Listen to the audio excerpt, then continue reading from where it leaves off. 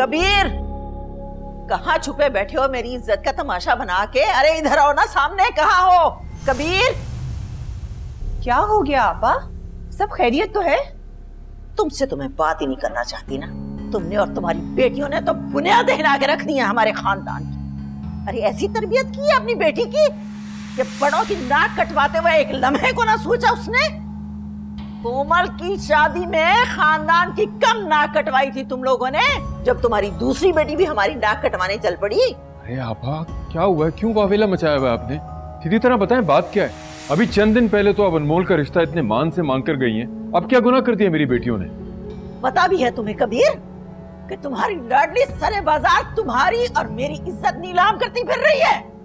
आप आप क्या कह रही हैं? मेरी कुछ समझ में नहीं आ रहा। खुलकर बात करें। लो जी।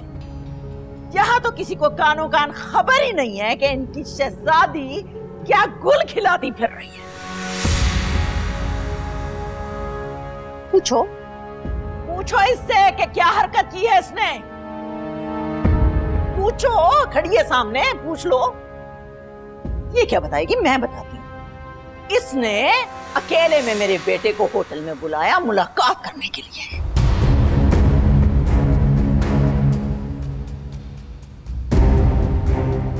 बेशर्मी और बेहयाई से मेरे ही बेटे के सामने हम सबको बुरा भला कहा और मेरे डाले हुए रिश्ते से इनकार कर दिया। और तो और ने बताया कि ये और अदील एक दूसरे से मोहब्बत करते हैं।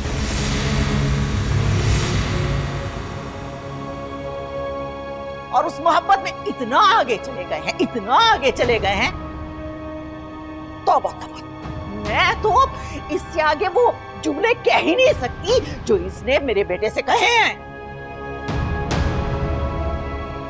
अनमोल मैं ये क्या सुन रहा हूँ? बाबा वो तुम अरसलान से मिलने गई थी ये सच है या नहीं? जी बाबा। तुमने अपने बड़ों के फैसले से इनकार किया? मेरे फैसले से बगावत की? मैंने कोई बगावत नहीं की बाबा मैं तुमने मेरे फैसले से इनकार किया? जी। सुन लिए? सुन लिए ना? अपने कानों से अपनी बेटी के करतूत। देख लो, तुम जिस बेटी की तरबियत के इतने गुण गाते फिरते थे ना, कबीर? देख लो, सरे बाज़ार रुसवा कर दिया उसने हमें। हमारे सरों में खाक डाल दी इसने।